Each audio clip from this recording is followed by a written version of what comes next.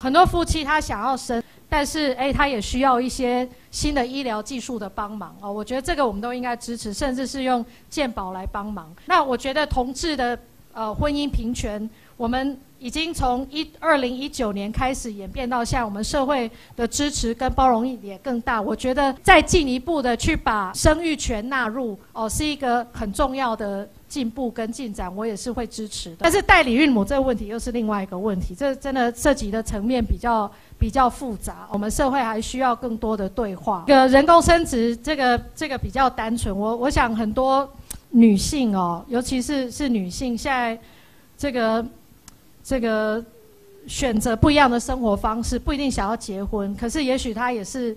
呃，有有能力去去去抚养孩子哦，那我觉得我们社会这需求越来越大。那包含很多的夫妻，我们其实少子化问题很严重，哦，很多夫妻他想要生，但是但是哎，他也需要一些新的医疗技术的帮忙哦。我觉得这个我们都应该支持，甚至是用健保来帮忙。那我觉得同志的呃婚姻平权，我们。已经从一二零一九年开始演变到现在，我们社会的支持跟包容也更大。我觉得，去去再进一步的去把这个嗯生育权纳入哦，是一个很重要的进步跟进展，我也是会支持的哦。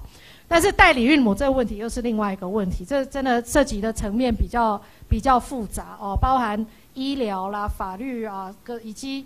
这个很多的层面，那那我觉得这事情我们社会还需要更多的对话哦。那政府在现在这个阶段，是不是就要就要马上去去介入这个议题的辩论？我我觉得我们可以再收集更多的这个这个意见。但是我觉得人工生殖的部分是我们呃应该是可以支持的哦。那那我觉得同志，我我我我就要再回到回去讲我二零一九年的心酸哦。那时候在花莲。